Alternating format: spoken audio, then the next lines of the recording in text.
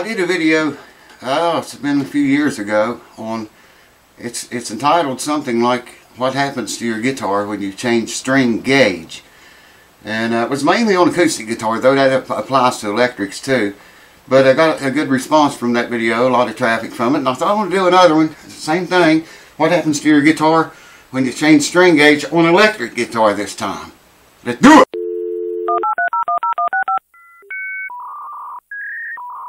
Welcome back, folks. Yes, sir. Uh, this guitar here, you old subscribers will remember that. Uh, I want to do a shout out to Gary and Dolores and a third person, very special special person, person if I can talk, uh, Gary and Dolores, and a third special person that wants to remain anonymous. anonymous. Wow, I can't talk tonight. Anyways, thank you guys. Hope y'all's doing well. They are the three responsible for this guitar. The anonymous, uh, anonymous one, especially. Anyways, it's got 10s on it. 10s to 48s, I think. That's what it is. Elixirs. And I have here uh, Elixirs 9 to 46s. So we're going to drop down one, one uh, I don't know if that's a gauge or not, but it, these are littler. So what I'll do is get you over here and we're going to take all the measurements on this thing. Take all the measurements and measure the nut action, measure the uh, neck relief, measure the string action, check everything. All I'm going to do is swap the strings out and then we'll measure all that stuff again and see how much difference. It ain't going to be a lot of difference, but I'm betting there'll be a little bit. So let's do it! What happens to your guitar when you change the string gauge? That's what we're going to find out. So with these heavier strings, now, granted on that acoustic video I did was more more drastic change than we're going to be doing on this one. Uh, you know, I was doing it to show prove the point. They change. The guitars change. There's going to be less stress uh, stress on the neck on the entire guitar. So you know, there's probably going to be lesser relief in the neck. So uh, I've got 16 thousandths out here. And I can feel that. It's exactly what it is. You can hear the strings ring under it.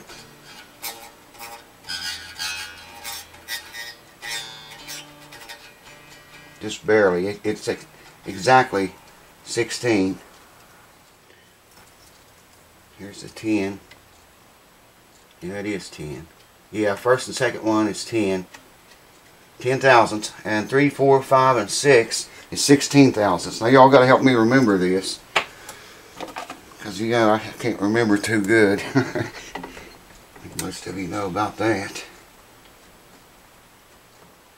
Cold in here, man. It's cold outside tonight. Well, it's 64 degrees in here. It's not cold, cold, you know what I mean? But it's, it ain't warm either. Alright, we like to see about 10 thousandths right here too. I'm going to note down here about the 19th fret.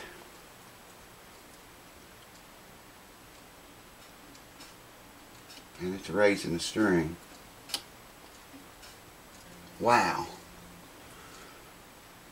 I haven't checked this guitar for a while. Yeah, it's less than 10. Man, that's super low action on this puppy. Alright, it's less than 10. Got an 8 right here. Let's try that. That's even raising the string. Wow, man. I can't believe that, that action's that low.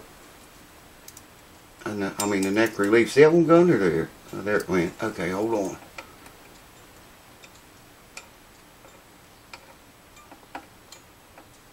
It's raising the action. And this is an 8, so we'll go with the 7. I can't believe that guitar don't buzz, man. I mean, that that is, that's it. I can get it in there. Well, my hands are cold, man, and they do not work. They don't work when it's warm, let alone when it's cold like this, when they're cold. That's it. You can hear that. You can't hear it on that one. It's that one. I don't know if the camera's picking that up or not. Okay, so we got seven thousandths neck relief. I'll just leave that out. Lay it right there. Wow, that's incredible, man. Incredibly tight setup. Well, I set the guitar up. I didn't do anything to the nut. But I'll set the guitar up. We'll start here at the 12th fret. Around and around we go. Make sure that camera's running. Yeah, it is. Okay, the high E string on the 12th fret. Well, it's 464s. Low E string is uh, it's 564s. I thought that actually was lower than that. There, it buzzes a little bit there if you play it hard.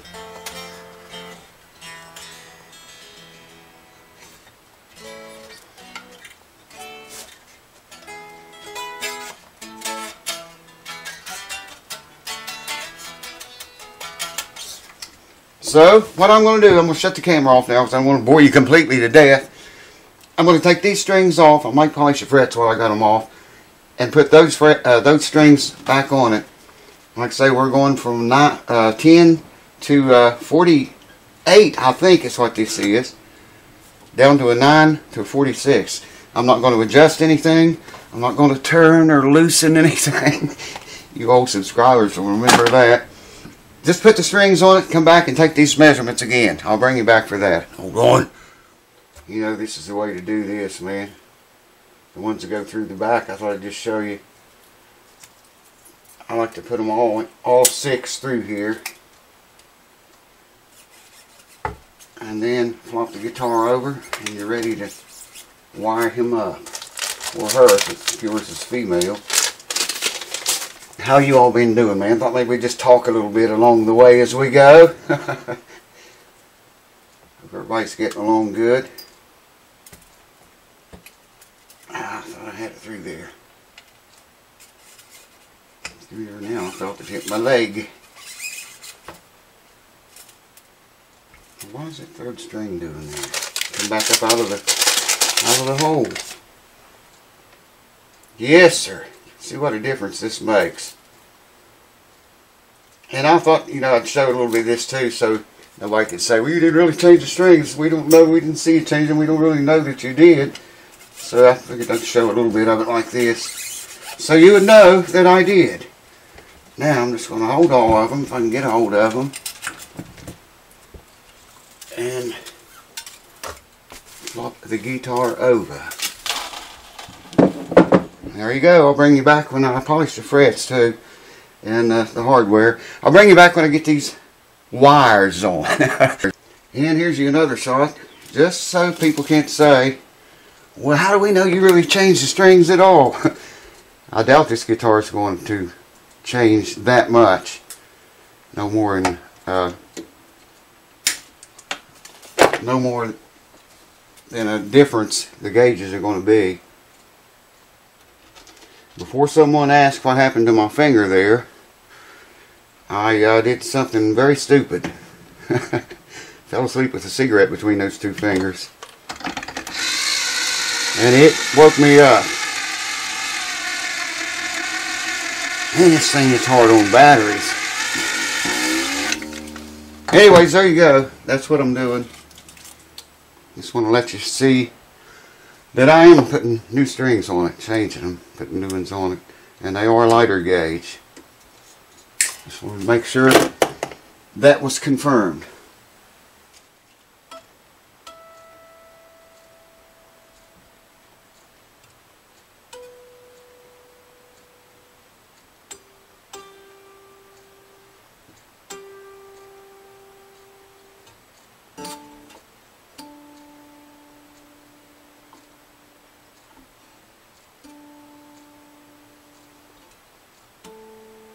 Alright, I didn't expect this to change very much. Y'all remember what the numbers were? These top three anyway. Four was uh, a 10 and a 6. Yes, I got a 10 and a 6 and a 7. Wow, that 6 they want to play. 10 and a 6, okay. Let's see if they're still... I don't figure this will change very much.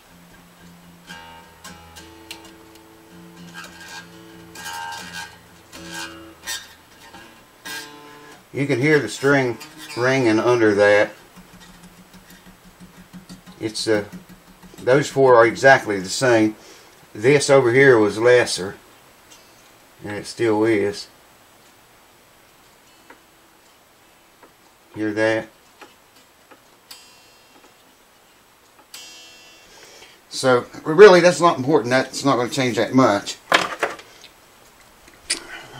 On up here is what I think is going to be different. Or at least one of the things is going to be different.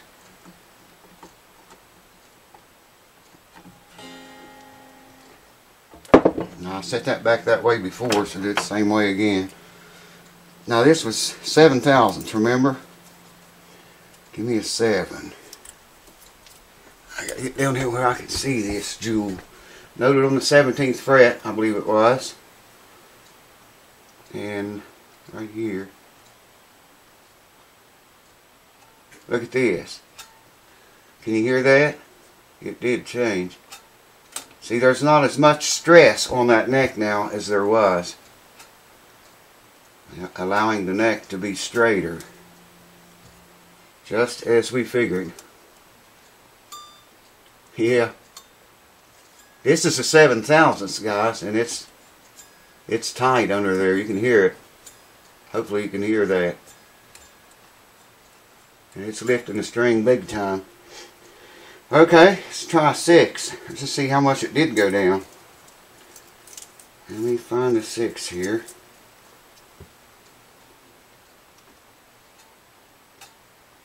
That's even raising it. Wow. That neck is almost straight. Maybe it's straight now.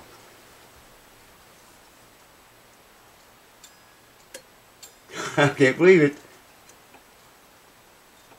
There. Uh, Alright, let's go to five.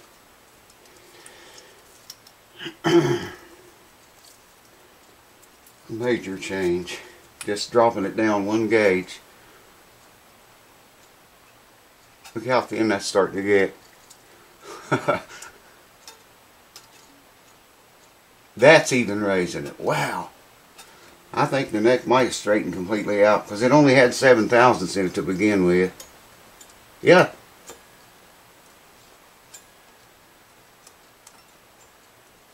It almost goes under that one. Well, let's go down to a four. If I even have one that thin. Some of these are missing on this set. This set's getting old. Yeah, there's a four. This set's really getting old. Alright. I mean, it's really, check that out for thinness now. It's still lifting it. I don't know if you can see that on the camera or not, but it's lifting that string.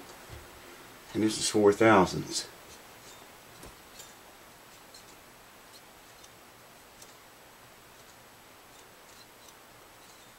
There, it'll go under that one without lifting it. And that one. Not that one, these two it will. So we went from seven thousandths neck relief down to four thousandths. That's three thousandths difference. That's a pretty good bit when you know when it comes to your action. Wow, I didn't think it moved that much though. So that's what happens when you when you uh, change your string gauge on your guitar. Alright, this was 464s and 564s. The high E string now It's just barely under 464s, but it's not 364s.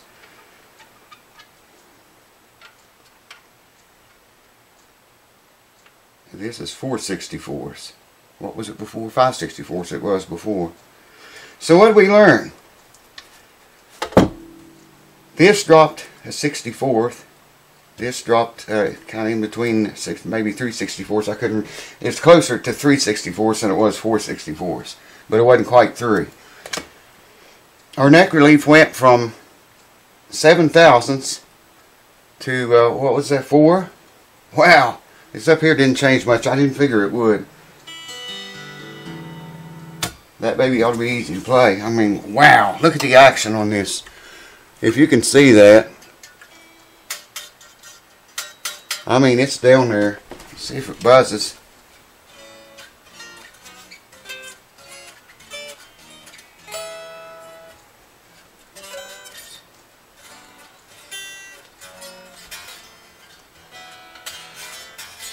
Buzzes a little bit up here. If you, I'm playing it hard though. Someone just touches the guitar.